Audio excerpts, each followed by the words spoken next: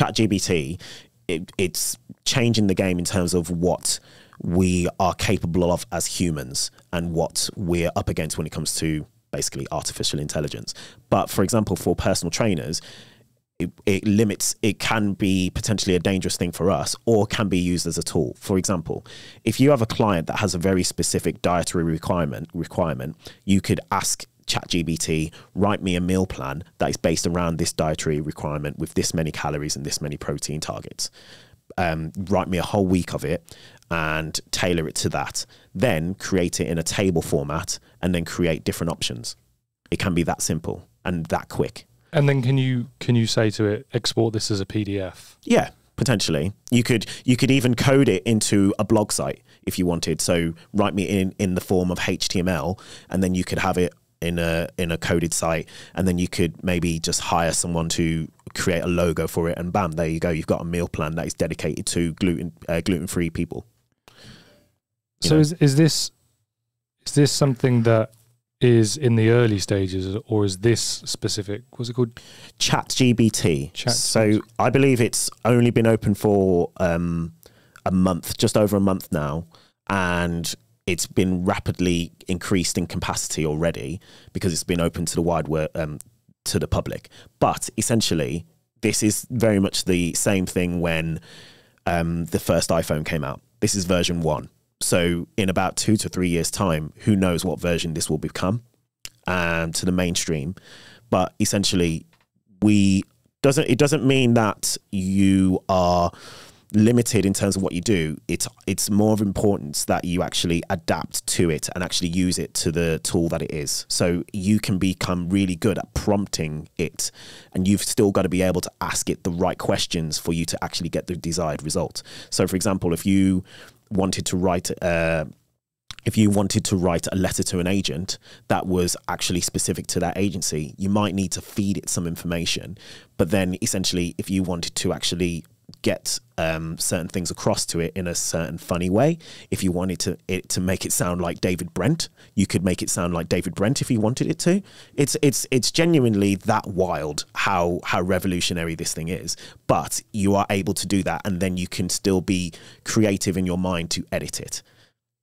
Yeah, that's for something that's in the early stages, and it's it's hard for me to put into words what this does really because mm. you know I, have heard in the past people say like oh AI is going to take over and all of this sort of stuff and I never really had an example that I was like oh yeah I could see that being you know mm. being intelligent and growing and but this is probably the first time I've actually realized something is that intelligent that you can f- like feed in tiny pieces of information and say, write me a poem or write me a two act screenplay, write me a joke. You know, yeah. it's literally anything. So, do you think it, do you think this will go too far? Um, I think it's going to be an inevitability. If I'm being totally honest with you, the fact that it's open to, it can be open to public, um, but there are limits on this. It's not like you can it's still going to be governed in some way. It has to be. You can't like write in it, oh, um, how do I wipe out the entire race? It won't. It won't give you an answer for that because it's governed, and it's you know rightly so. But essentially, you, um, we are in a world where I think, and I've read about it. Someone said that forty percent of the jobs that we live we have today in society will disappear. Forty percent. That's a huge number across the board, especially when you think about, and it's not, this is not, this is just alarming, but it shouldn't be necessarily to be, we should be worried, but we, we should also be alarmed and ready to adapt to that. And if you are doing that, then you're going to, you're going to be okay. You might need to shift where your career is going. So, for example, if you are a, are a playwright, you would just simply add this to your arsenal because there's going to be some lazy fucker out there that is just basically going to go write me a playwright on this and then I'm going to take it to a producer who's going to say yes. That's going to happen. You're going to get AI screen um, scripts made. You're going to there's going to be an AI play. There's going to be an AI musical.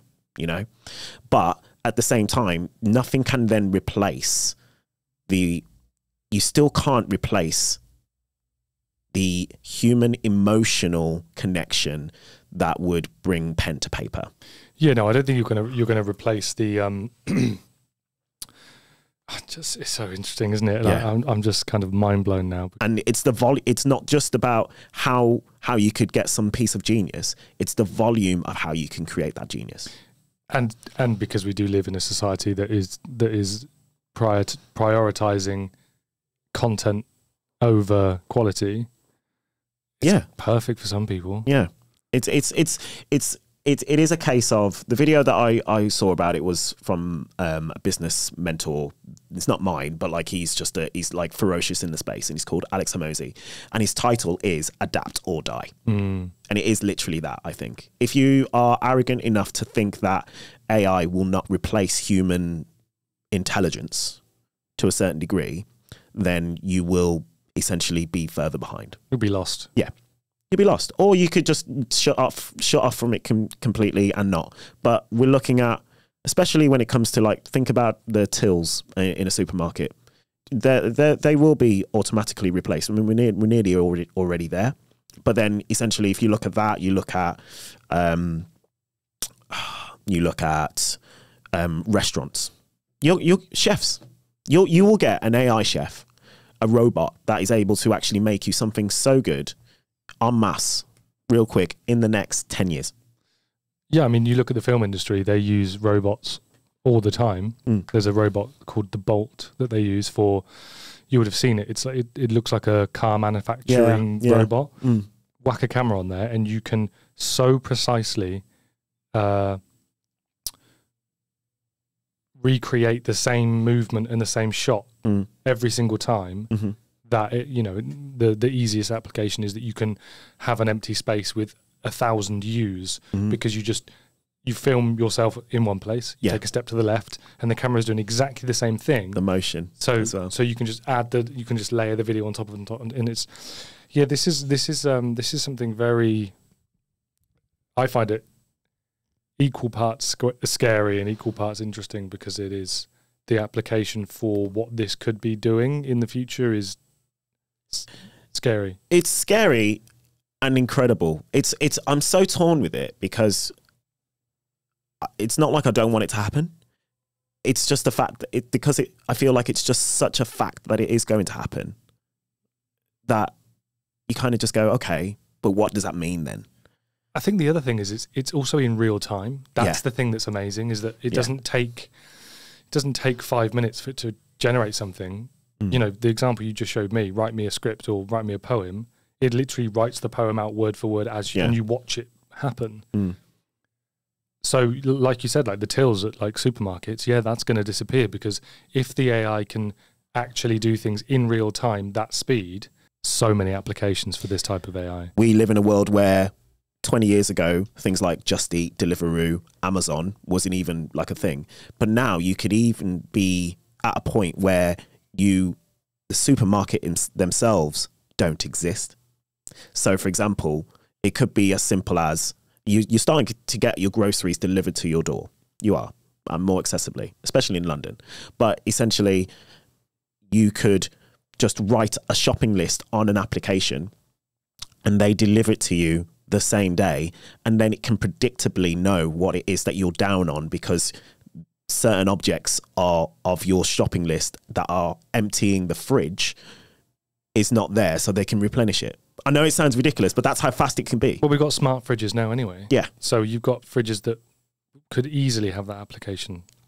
You know, it, the the shelf could have weight on it, or Yeah. it could have a section where you put your certain things and Mm. it knows where it is. And you, as soon as you take it out and you used it, it Mm. orders you a new one. You already got it already with Alexa and all of that. You know, Alexa, add this to my shopping list. that's it so that's that's that's ultimately the the i can't describe it the scary but also fascinating thing about it but the important thing is is that how can the, the way that i think about it is how can i use that to my advantage how can i use that to my advantage for in every every area of my life but then also for my career for my health for creative ideas that i want to do you know it's it's going to be really important to kind of understand that we have that you don't have to obsess about it but you do have to kind of be aware that that this is a thing Hmm. and if we are then I don't know.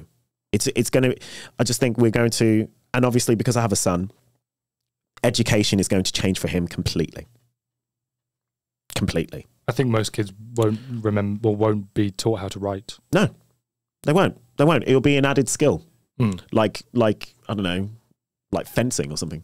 Do you know what I mean? Like it'll be just it'll be it'll, it it'll become almost redundant that they would have to do it. So why would they?